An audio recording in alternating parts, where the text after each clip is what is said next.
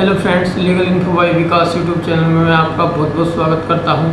मैं हूँ विकास राजपूत एडवोकेट और आज हम बात करेंगे हरियाणा के कपल कोर्ट मैरिज कैसे करें। दोस्तों इससे पहले हमने काफ़ी वीडियोस बनाई है कोर्ट को लेकर के, मगर ये स्पेशली वीडियो हरियाणा के कपल्स के लिए दोस्तों, हरियाणा में कोर्ट करने के लिए थर्टी डेज़ का टाइम लगता है और घर पर नोटिस भी जाता है। इसके लिए हरियाणा, पंजाब, चंडीगढ़ से लोग अक्सर दिल्ली में कोर्ट करने आते हैं तो हम दिल्ली का कुछ इसमें गाइड करेंगे, क्योंकि हरियाणा में थर्टी से फोर्टी डेज़ का टाइम होता है। दोस्तों, दिल्ली में भी सेम डे में कोर्ट नहीं होती है। हमारे बहुत से वकील बंधु या कोई एजेंट अगर आप कहेंगे कि आप दिल्ली में आ जाओ फटाफट एक दिन में कोर्ट मैरिज हो जाएगा तो दोस्तों ऐसा नहीं होता है। दिल्ली में कोर्ट मैरिज करने के लिए दो दिन लगते हैं। अगर दिल्ली एनसीआर की यानी कि गाजियाबाद की बात करें तो तो गाजियाबाद में वनडे में कोर्ट मैरिज हो जाता है। प्रोसीजर ये होता है पहले आयुष्मान मंदिर में शादी होती है दिल्ली में और नेक्स्ट डे उसका कोर्ट में मैरिज रजिस्ट्रेशन हो जाता है। अगर आपके पास एक दिन रुकने का समय नहीं है या आपको फैमिली प्रॉब्लम है तो आप एन कोर्ट गाजियाबाद में जाकर के आयुष्मान मंदिर मैरिज और कोर्ट मैरिज रजिस्ट्रेशन दोनों चीज़ें एक ही दिन में करा सकते हैं।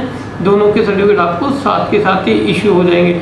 तो दोनों ही जगह सर्टिफिकेट जेनविन होते हैं और दोनों की लीगलिटी इक्वल ही होती है। दोनों मैरिज सर्टिफिकेट के बिहार पर ही आप पुलिस प्रोटेक्शन या स्पाउस वीज़ा के लिए फ़ाइल लगा सकते हैं या किसी भी लीगल वर्क के लिए आप उनको यूज़ कर सकते हैं। दोनों ही court marriage certificate online recorded होते हैं। आप इनको गवर्नमेंट की वेबसाइट पर जाकर ऑनलाइन चेक कर सकते हैं और डाउनलोड भी कर सकते हैं। दोस्तों, बहुत से लोग कहते हैं कि आज और दिल्ली में वनडे में कोर्ट मैरिज हो जाएगी तो वो खाली आज समझ मंदिर में और आपका एफिडेविट पे मैरिज का एग्रीमेंट करा देते हैं, जो कि लीगल नहीं होता है। दूसरा कई लोग करते हैं कि समझ मंदिर की शादी बैक डेट में दिखा करके सेम डे रजिस्ट्रेशन करा देते हैं। वो चीज़ भी गलत होती है, क्योंकि ना तो आप दो दिन पहले दिल्ली में आए थे, ना ही आपकी शादी हुआ था। तो उसमें भी आप उल्टे फंस जाएँगे फटाफट के चक्कर में। इस तरीके के उल्टे सीधे काम के चक्कर में किसी के न आए दूसरा कोर्ट मैरिज के लिए डॉक्यूमेंट्स क्या चाहिए होते हैं? प्रोसीजर क्या होता है? वह बता देते हैं। ब्राइड और ग्रोम की एज 18 और 21 साल कंप्लीट होनी चाहिए लड़का लड़की की। दोनों के पास अपने एज और एड्रेस प्रूफ एज प्रूफ के लिए टेंथ क्लास का मार्कशीट बर्थ सर्टिफिकेट और पैन कार्ड चाहिए होता है। इन तीनों में से कोई एक डॉक्यूमेंट्स होगा। तो वो आपके एज प्रूफ के लिए काम करेगा। एड्रेस प्रूफ के लिए Aadhaar card voter ID card passport DL bank passbook any one in चार पाँच डॉक्यूमेंट में से कोई एक डॉक्यूमेंट्स आपके पास है तो वो आपके एड्रेस प्रूफ के लिए काम करेगा। दोस्तों कोर्ट मैरिज के लिए दो विटनेसेज भी चाहिए होते हैं, जो कि मैंडेटरी होते हैं, बिना विटनेसेज के कोर्ट मैरिज नहीं होती है, और विटनेसेज के लिए ये बाउंडेशन नहीं है कि विटनेस आपके रिलेटिव या आपके फैमिली मेंबर ही हो।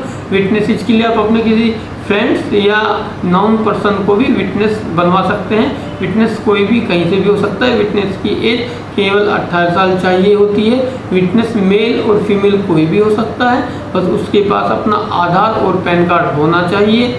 आप अपना शादी और थोड़ा फास्ट करना चाहते हैं तो उसके लिए आप पहले हमसे बुकिंग करा के आ सकते हैं। मंडे टू सैटरडे आप हमारी हेल्पलाइन पर हेल्पलाइन नंबर पर कॉल करके आप बुकिंग करा सकते हैं, या और किसी क्वेरी को जानने के लिए आप नीचे दिए गए डिस्क्रिप्शन में जा करके आप हमें कमेंट्स भी कर सकते हैं। इंस्टेंटली हम उसका रिप्लाई करने की हमेशा कोशिश करते हैं।